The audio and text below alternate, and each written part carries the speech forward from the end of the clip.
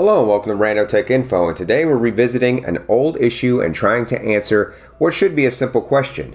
Do refresh rates on smartphones really matter? Not that long ago, smartphone refresh rates only came in one flavor, 60 Hz. But over the last couple of years, Android OEMs have really tried to push refresh rates as a selling point for their devices. This is most likely because it is a major advantage these devices have over the iPhone. At least that's what the manufacturers want you to think. But is it really? Over a year ago, my assistant Thomas and I ran some experiments to see if either one of us could tell the difference between 60 Hz and 90 Hz refresh rates. And I will include a link to that video down in the description if you want to see it in its entirety. But the short version is he could tell the difference and I couldn't. Is this because my eyeballs are 25 years older than his, or is this because the difference between 60 Hz and 90 Hz simply isn't great enough for some people to be able to tell the difference. And if that is indeed the case, is the jump from 60 hertz to 120 hertz now going to be enough for me to tell the difference? That is what we're going to find out. But before we do, if it's not too much trouble, a sub to the channel would be most appreciated. Well, that was very polite. Now, just so you know how these tests are going to be run, I will not be looking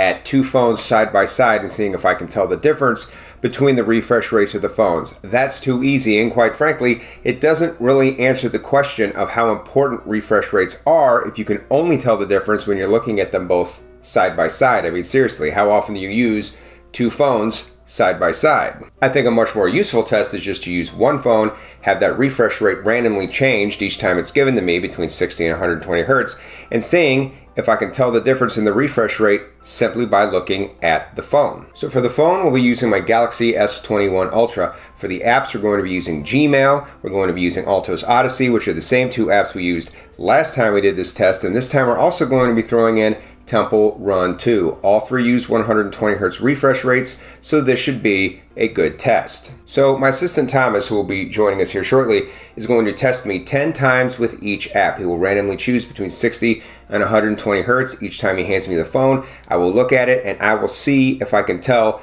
the difference. Okay, I think we're ready. Let's go ahead and call in Thomas. Say hello, Thomas. Hello, Thomas. So, we ready to do this? I think so. All right, let's do it. I feel like I might have it this time. I think I think I think I could tell the difference. This is exciting. I'm, I'm moving into the modern era with my eyesight. Maybe. Let's see my eyes. I think I'm going cross-eyed here. Let's say 120. I'm less certain about that though. I feel like seriously, I feel like I'm I'm losing it.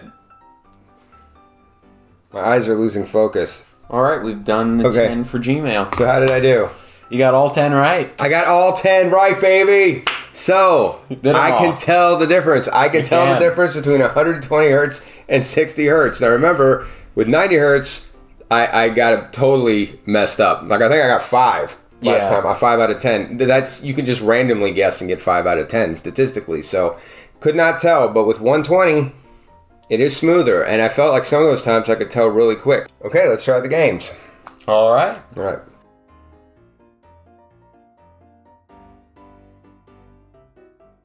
Strangely enough, I feel like this is harder than just with scrolling with Gmail. I think it's a little harder to tell, I feel like.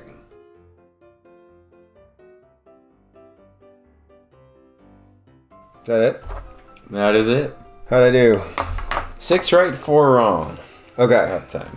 So not not not as good that time. I think sometimes I thought it was easier to tell than others. I think part of the problem was like the backgrounds changed on the game, and I think with darker backgrounds it was a little harder to tell because mm-hmm. like it goes from day to night in the mm-hmm. game. So I think that was part of the issue. Sometimes I felt like I could tell, and other times I was kind of just guessing. I, I was uh, kind of mean and did do the same thing three times in a row. It Okay. stretch, so. yeah, that's all right. It's it's supposed to be random. So all right, now we're gonna do Temple Run two.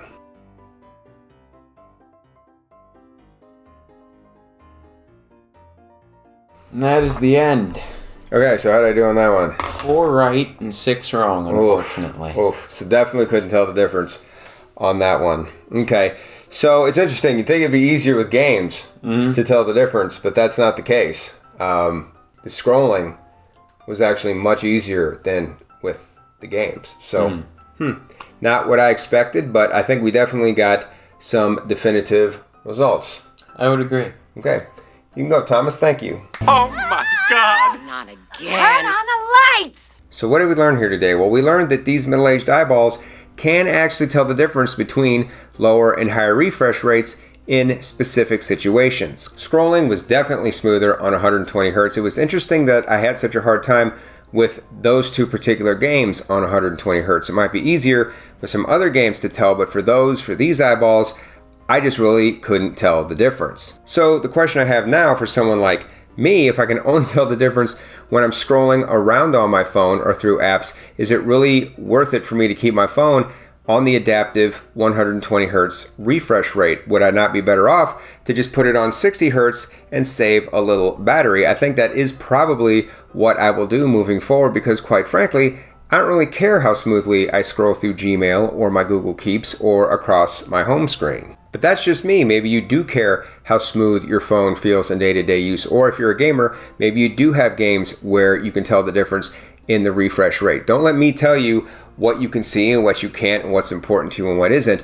But before you go out and spend a lot of extra money on a phone, just because it has a higher adaptive refresh rate or a higher refresh rate, I think you need to ask yourself how much it matters whether you need to replace the phone you have or not, if it doesn't have a high refresh rate, and if it's worth the money and extra battery consumption. Well, that just about wraps things up for today. If you have a higher refresh rate phone, please let us know down in the comments if you think it does make a difference in the day to day use of that phone. And specifically, if you're a gamer, let us know what games you play where you think the higher refresh rate does make for a better gaming experience.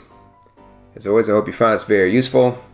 Thanks for watching and until next time, this is Rando Tech Info, signing out.